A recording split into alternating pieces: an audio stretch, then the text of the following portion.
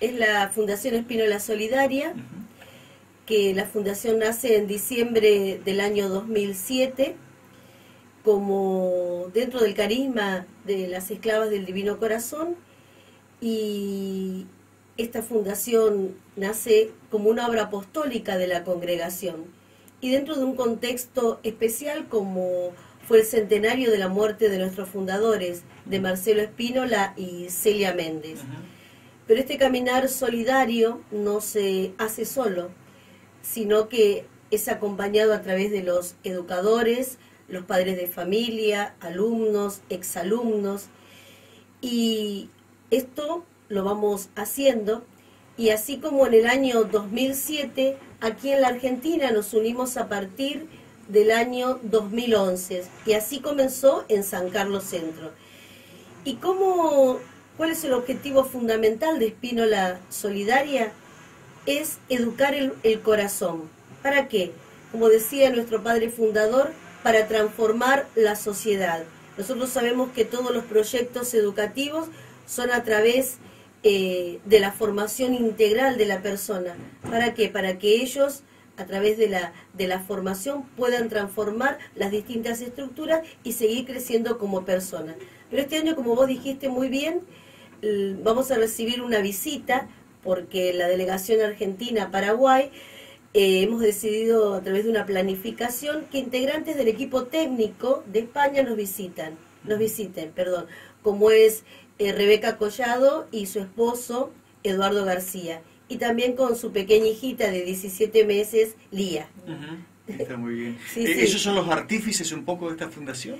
Ellos forman parte del equipo porque está integrado concretamente por las religiosas, en este caso por hermana Carmen Sarmiento, que es la ecónoma general y la superioridad general como es, eh, es un patronato ¿no? de esta fundación. Pero nosotros atendemos concretamente a través de los proyectos a los países, eh, a poblaciones más vulnerables como es América Latina, Asia, Europa. Está muy bien. ¿Y cuándo llegan aquí, Daniela? Ellos llegan el 17. Eh, van a estar tres días, 17, 18 y 19 de, agosto. En este momento están en Paraguay. Eh, eh, las actividades ya comenzaron en Madrid, que los estamos siguiendo por medio de la página de la congregación. Hoy están en, Paraguay, luego viajan a Buenos Aires y el 17 llegan aquí a San Carlos. Bien.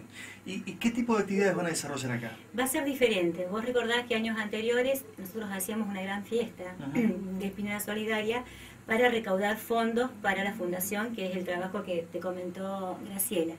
Pero este año ellos quieren hacer todo un trabajo de sensibilización a través de un lema, que el lema es la escucha.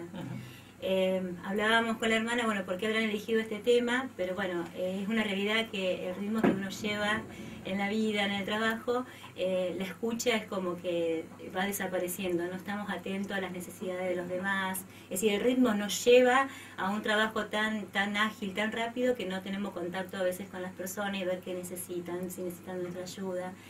Entonces el trabajo de ellos es eso, trabajar un poco, eh, sensibilizar lo que es la escucha. Y este mm, tema em, está programado en tres campañas. Este primer año, que es 2014, eh, es para y escucha. para el 2015 es siéntate y escucha. Y para el 2016 es levántate y escucha. Eh, se va a trabajar durante tres años. lo que ellos tienen programado era para tres días pero viste que este fin de semana es, el largo. Además, para nosotros el viernes 15 también es feriado por la Asunción de la Virgen María. Entonces era un feriado muy largo donde eh, iba a ser un poco difícil poder hacer todos los trabajos que ellos tenían pensado. Entonces lo compactamos para un día, para dos días.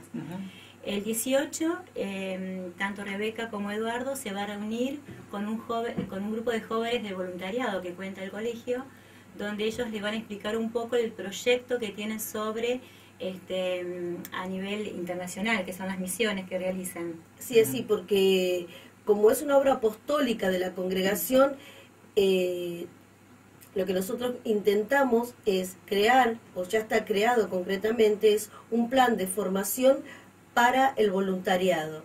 Entonces, jóvenes que dedican su tiempo, su esfuerzo y luego tenemos, por ejemplo, en este momento en Paraguay hay un grupo de voluntarias de España acompañado por una religiosa que están misionando en nuestra comunidad de Ayola durante todo el mes de agosto, de julio y agosto, que es sus vacaciones de verano en España.